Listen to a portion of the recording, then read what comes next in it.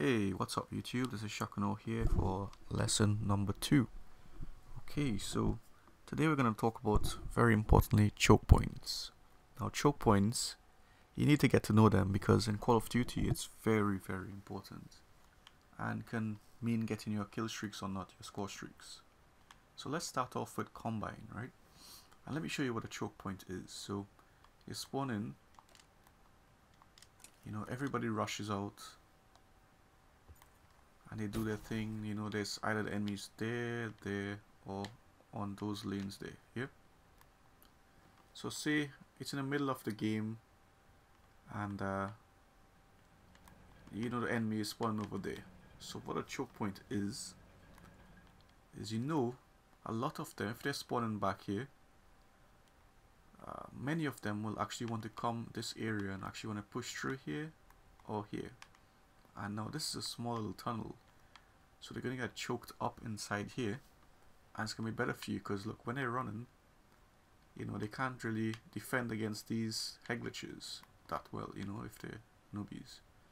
So you're to take advantage of that. You're to take advantage of these kind of choke points. So what you need to do for example is if you know you're on a streak yeah you're one off a streak two off a streak and you know they're spawning back here on the radar. You always check your radar from lesson one. Always check it. And you know they're coming through here. You stay here and you aim long sights. And you wait for them. Don't wait for like five minutes of a person you know. Always make sure you're checking your radar and you know you're they're sure they're coming soon very soon like within 10 15 seconds max you know. So you stay here. When they're coming around you, you seeing them coming, you're hearing them coming, you shoot. And you'll kill a few. Once you kill the first one, another one's probably right behind them. So you, you check in your radar. And remember in lesson one I told you, after you kill the first person, keep aiming on for like one or two seconds after. Because you know someone's going to push right after him a lot of the times. It's going to kill you. That person's going to kill you if you don't check. So you shoot the first person, you keep aiming on just move a little a little bit. Don't just stay in the same spot after you kill the person. Just move a little bit. Like this. Aim along sides and look for the second person. Now, if there's more people, after the enemies see their friend die, they're not, not all of them are gonna like rush out like this, you know? Some are just gonna camp like this. Or wait like this. Pre-aim. So what you need to do, instead of staying here, you know you're in a tight spot you're close to your streak. You're not camping you you know you're close to your streak you want to get a few kills. So you, you kill the first two you, you know there's more gonna come around but they know you're in the spot because they check the radar.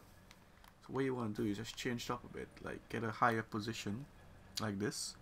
And this works like 95% of the times. Once you change your position and get to a higher position you're in an advantage. So you stay here and you shoot the others coming in because they're going to be checking here and they're going to be checking here. You know they're not going to expect you on top here you know. You're, you're making use you're taking advantage of the game mechanics in this game with the boosters and being able to get to places. So that's a that's a common choke point. Um, the other one is if they if you see them wall running a lot right so it's a constant wall running they're doing the enemy team you can stay right here and just pick them off. You know your team's gonna if you're playing with someone else you know your team's gonna say wall run and wall run means this. So you just pick them off you know and you cover the flank of your allies. That's going to help out a lot. The other choke point is in this map this one's right here. So you know they're spawning over here.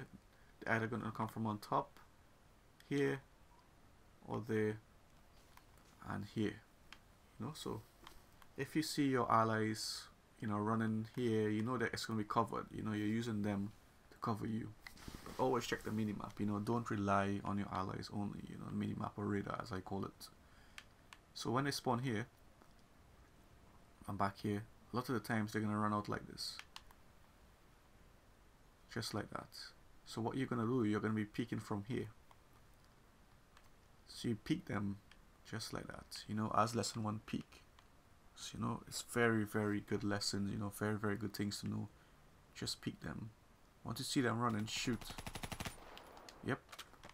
And what did I tell you? Always aim long sights after you kill the first person, aim long sights like one or two seconds after, because you know there's going to be one behind them. Now when you do that immediately and there's nobody else, immediately check this area, because some could be coming from here. That's if your allies are not uh, in this building already, right? So make sure and check there as well. But don't stay here. I mean, choke points are all well and good, but don't stay there too long, because sooner or later they're going to get you from another area. So don't stay there too long, yeah? So you kill them, you get your two kills to your kill streak, your score streak, and then you move. You come up here, here's another choke point.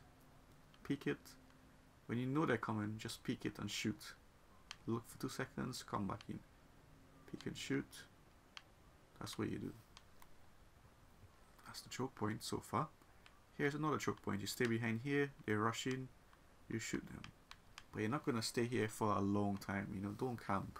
Camping is bad and you will you will die for that so don't do it so just peek it shoot one or two people sooner or later they're going to start throwing grenades and stuff so you don't want to stay there you know here's another choke point you know they're going to push this area and if they don't if they don't listen to the lessons like lesson one just run headlessly you're to get easy kills like that some of them are to pre-aim you they're to aim down sights like this so what you need to do is you know develop your aim make sure it's on point and shoot. Manage your recoil and shoot them. Once it's getting too crazy, you leave and go back to your allies, you know. Don't don't be out there by yourself too long. Don't camp. And here's a very good spot as well, you know. Shoot right here. It's another choke point. So you see, you get an idea what, what choke points are and how you can make use of it. So they all have to, a lot of them come out from here, you shoot them, one or two, they're going to see you on the map after, so don't stick around too long. And then you can shoot, if your aim is good, you can shoot them like here, but make sure and develop your aim first, as I thought you to. And always check your radar, always check your minimap.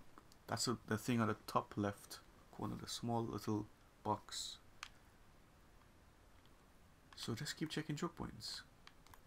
And um, I'm going to speak about opening rushes as well soon for different types of map that works really well, you know. Here's a choke point as well.